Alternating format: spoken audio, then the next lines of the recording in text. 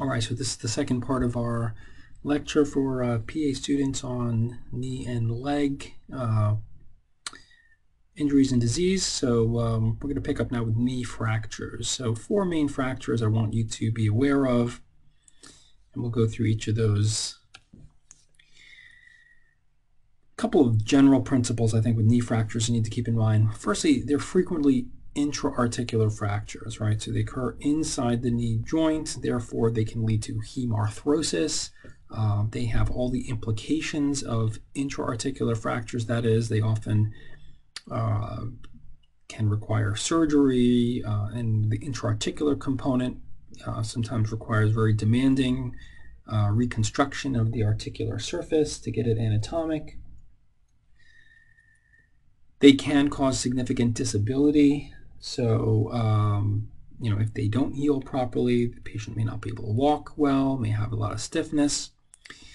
And as I kind of hinted, they're frequently treated with surgery, especially if a fracture is displaced or angulated. Certainly not always, but um, but see, for surgery is not, not uncommon for these.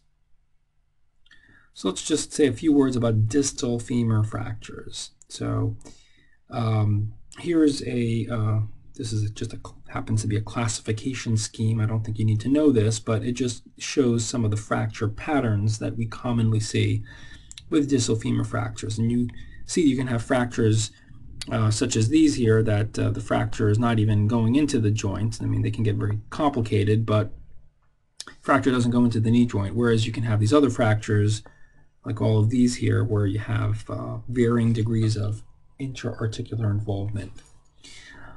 Uh, it's a femur fracture though, uh, and certainly if you extend up towards the femoral shaft, uh, you can have significant blood loss. Okay, so this is not a finger fracture, it's a femur, you can have a lot of bleeding, and uh, it's one of the things you have to keep in mind um, when managing these patients.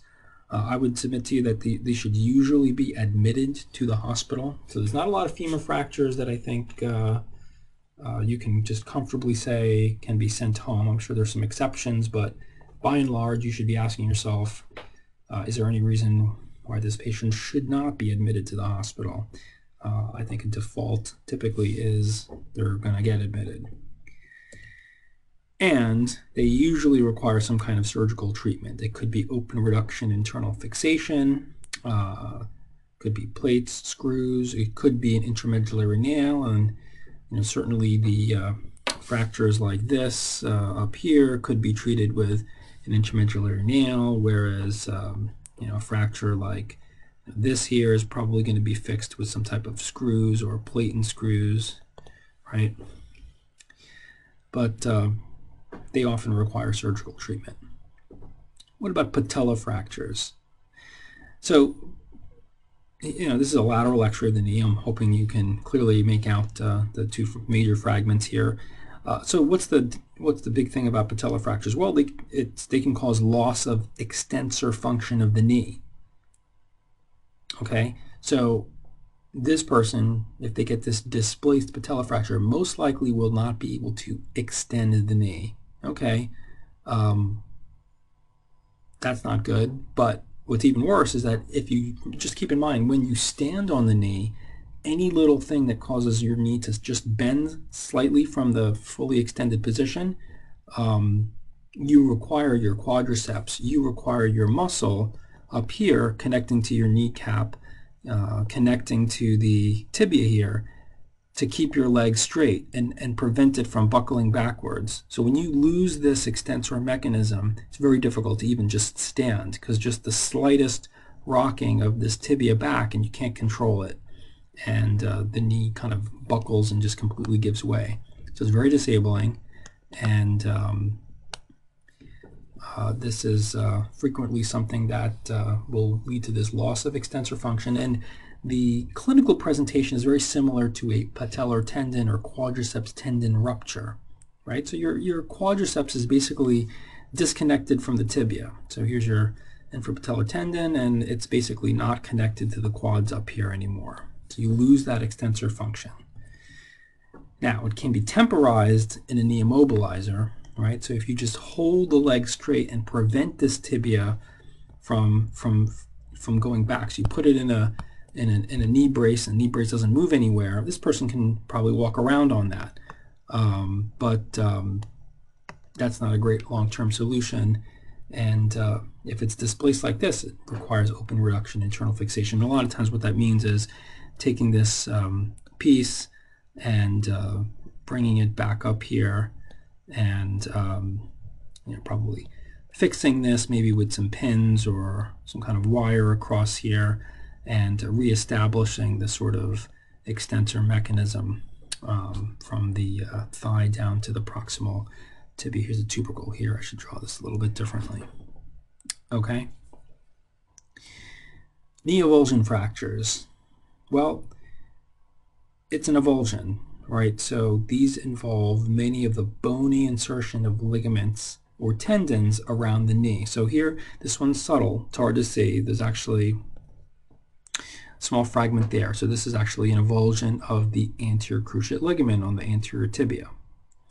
Um, you can have avulsions elsewhere. You can have avulsion of the insertion of the posterior cruciate ligament on the tibia, for example. You can have an avulsion of a portion of the fibular head. Uh, you can uh, have an avulsion from the, well, let's just say, proximal lateral tibia with the iliotibial band. Um, so, but the point is, it's some type of ligament or tendon pulling and pulling a piece of, of bone off. Now, because that's a ligament's insertion point, all right, so let's say if you had this avulsion here, like in this x-ray, well, the ACL is trying to insert on the tibia, and now you've basically avulsed the insertion off. Well, now that ACL is no longer attached to the tibia, you effectively have like an ACL tear without actually tearing the ligament. So it can result in knee instability. Um, usually these can be treated temporarily in a knee immobilizer, uh, and it de depends on the severity of the injury and whether uh, it has a chance to heal. So for instance, an avulsion like this, um, uh, maybe you put the knee in full extension, this fragment maybe settle, settles down to a reasonable position, and you might actually get bone-to-bone -bone healing.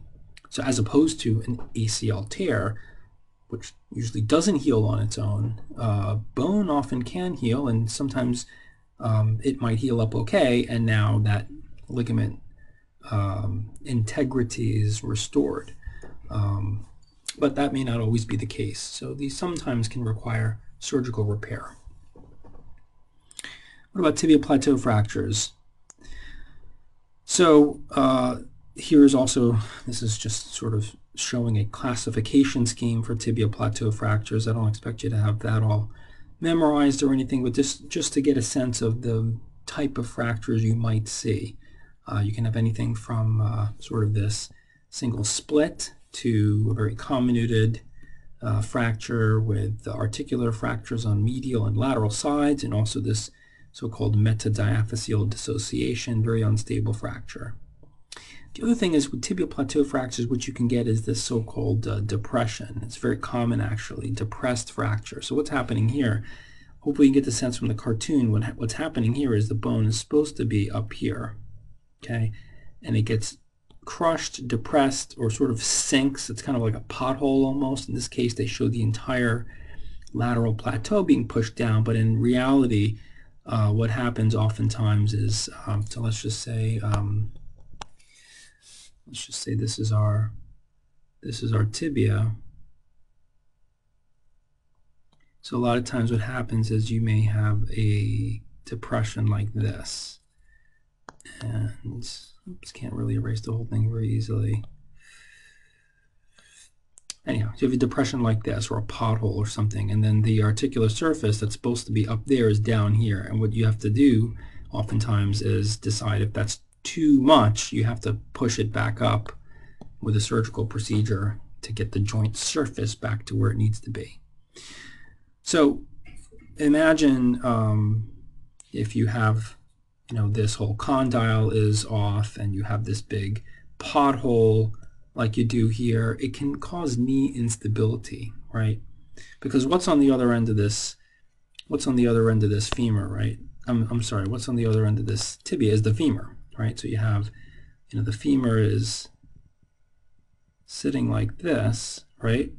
And um, if you have, if it's, if the tibia is supposed to be here, and instead it's here, you can you can imagine that you're going to get this sort of play or instability that it's going to fall into this defect, or if you have, you can you can argue if you have this fracture, right, and then this fragment goes down, you have this huge step off perhaps, and uh, again, the femur is going to fall into this gap. So it can cause knee instability. It can be very disabling. Another important thing is that um, it is a tibia fracture. Um, and you can get bleeding into the compartments of the tibia, I'm sorry, of the leg. So compartment syndrome is something that can happen with tibia plateau fractures. Uh, so um, it can happen with any fracture, but tibia fractures you worry about in particular. So tibia plateau fractures, one thing you got to think about is compartment syndrome. Now, I would say these usually should be admitted to the hospital. Uh, certainly if you're worried that something like compartment syndrome could occur. Uh, certainly at our hospital, all tibia plateau fractures get admitted unless there's some really, really good reason to not admit the patient. But by and large, our protocol is to admit all of them. They do frequently require open reduction internal fixation. Not in all cases, but there are some parameters we use uh, that you don't have to know, but um, just keep in mind they frequently can require fixation. All right, let me talk a little bit about uh, soft tissues, uh, soft tissue injuries of the knee, and then we'll split up and then do uh, one last video to finish up. Meniscal tears. So uh, here's just an example of a variety of different meniscal tears that you can get. You don't have to have all these memorized, but just keep in mind. So we're looking sort of from the top down at the meniscus um, in each example here, and you can see all the different tears. You can get like this uh, radial tear here. You can get the um, uh, so-called uh, you know bucket handle tear where uh, you get this entire fragment displaced like that uh, and a variety of different tears but it's a cartilage tear now keep in mind the um, if you think about how the uh, so let's just say you have this is the femur and this is the tibia, okay? And I didn't even really draw it that round, but you really have a very small area of point contact, right? Well, what the meniscus does, and the meniscus is a little bit, is shaped like this. I'm just showing this in cross section. This is like a lateral image or a sagittal image of the knee. So that meniscus in there, it helps increase that contact surface area between the tibia and the femur and it facilitates efficient transfers of uh, forces across the knee joint. That's its function. Now it can get torn, particularly with twisting injuries uh, in, in, a younger healthy patient, although in somebody who's um, may have degenerative disease in the knee, an older patient, they can get degenerative tears with minimal or no trauma. And that's very common. In fact, more often than not, those are the tears you actually will see in clinical practice. Unless you have a big sports population. Uh, you can get pain, mechanical symptoms such as clicking, locking, or catching, and these mechanical symptoms are important because these are the ones that can be very um, difficult sometimes to treat non-surgically. On physical exam, you can have joint line tenderness. Uh, you may also have a positive McMurray test, although it's not the most sensitive test. Uh, MRI is very helpful to confirm uh, here's an example that you might be looking at to, to confirm, for instance, that you, you have this tear in the meniscus or not. These can be treated with rehabilitation, nonsteroidal anti-inflammatory medications. Uh, in younger patients, they may require surgical repair. Um, and in general, they can require surgery if you have mechanical symptoms, meaning catching, locking, Otherwise, if you have a patient with degenerative disease and just has a degenerative tear, it's very questionable whether surgery is helpful in those cases. Okay, last thing for this particular video, and then we'll finish up in the next one, is ACL or anterior cruciate ligament tears. So the ACL is the prime stabilizer of anterior tibia translation, right? So if you if you look at how the ligament is oriented, it's preventing the tibia from going that way. It's like a check rein. It can rupture with rotational non-contact injuries as well as hyperextension and other mechanisms. So there's a lot of ways this, uh, that this can happen. Um, I mean, there's certainly, you can watch videos on the internet of people, uh, football players getting ACL tears with all kinds of people crashing into them. Um, but uh, very commonly, this can occur with no contact, and it's one of the injuries that can be very devastating that actually can happen with non-contact situations. Um,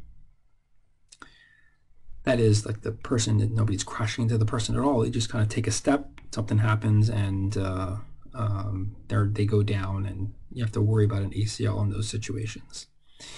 So an injury can also result in tears of the meniscus or other ligaments. So you know, these can occur in isolation, but they can also occur in combination with other soft tissue injuries.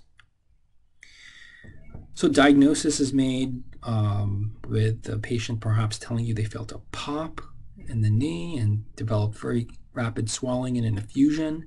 It's often hemarthrosis and it can result in instability. So afterwards, when the patient tries to walk on it, they might notice that the knee wants to twist or turn, or they have to be very cautious about cautious about how they uh, take a step, or maybe they don't want to take a step off of a curb because they feel like the knee is going to buckle or give out. On exam, the main test you're looking for is a positive Lachman test. I'm going to go back because it's shown over here. Here's the Lachman test being shown. Femur is being stabilized. Tibia is being translated anteriorly. And you, what you can also do is you can also push the femur posteriorly while you do this. Actually, that's, that's shown here. Um, so a good Lachman test, you're pushing back here you're pulling forward here and you're looking to see how much does the tibia go anteriorly.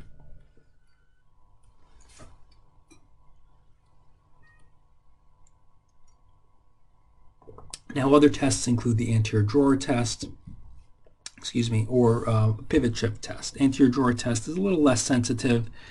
Pivot shift is a little bit difficult to elicit, can be very painful, and um, it's something we often do in the operating room under anesthesia, but some patients in the office, um, you can elicit this as well. Uh, treatment is often surgical uh, in younger athletic patients with instability, although um, they're not always going to be treated with surgery, and certainly in an older sedentary patient without instability, I think would be a good case for non-surgical management. Okay. All right, so I'm going to pause there and we'll pick up with uh, the remainder of this in the last video. Thanks.